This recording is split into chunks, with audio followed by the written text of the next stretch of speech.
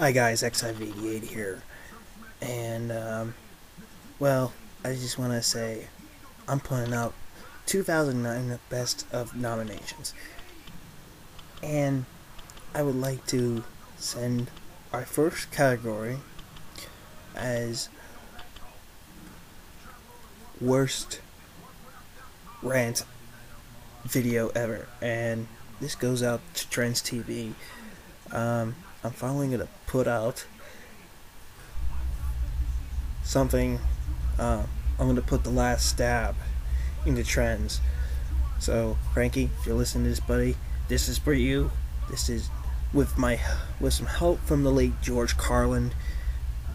Here is my version of Trends TV to, you know, shut up when it comes to movie reviews.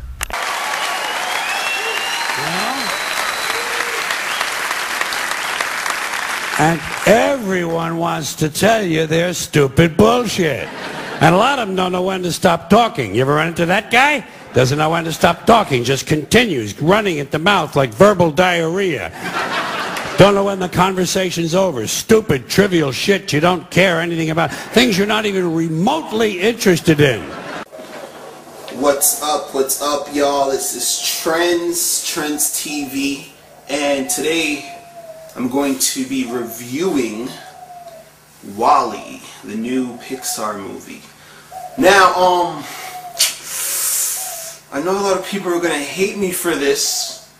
You, I mean, you might, but I don't know, man. WALL-E, uh, wasn't that good of a movie. I mean, it's um, it's about a trash compactor thingy uh, that uh, takes trash and compacts it and uh, he's on Earth, and there's no humans left because they trashed the Earth, and they had to move to some in space, and now they're all fat because they got lazy and just ate food out of cups and straws, and and it's it's ridiculous. But anyway, um, let me let me take this back a little bit.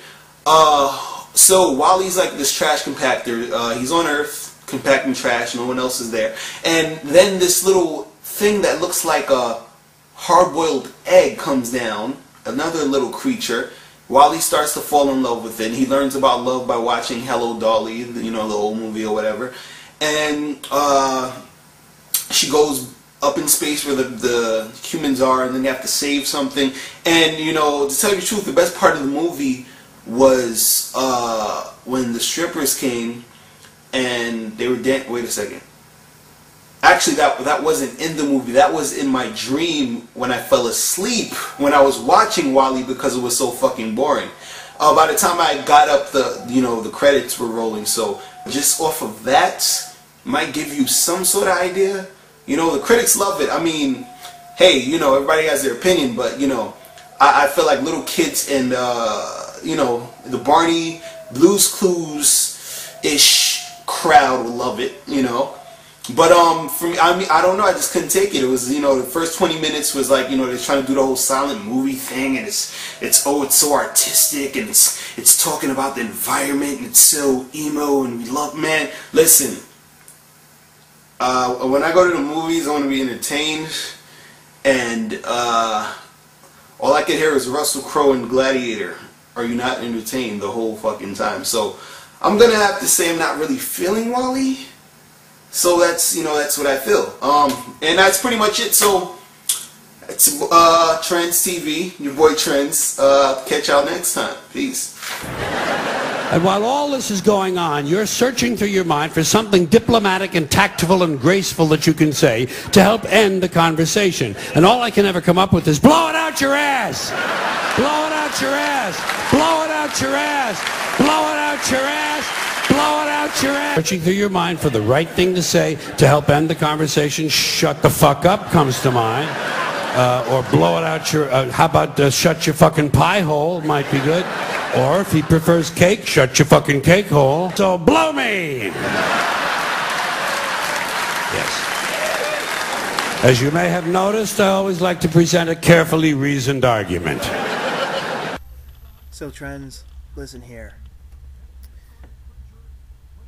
next time when you go see a movie, Think before you say, okay? Because all you talk about is stupid bullshit. Alright? With the help of George Carlin, I'm Michael Schroeder, aka XIV88. See you next time. And for everybody, happy Thanksgiving. Enjoy the turkey and football. Bye.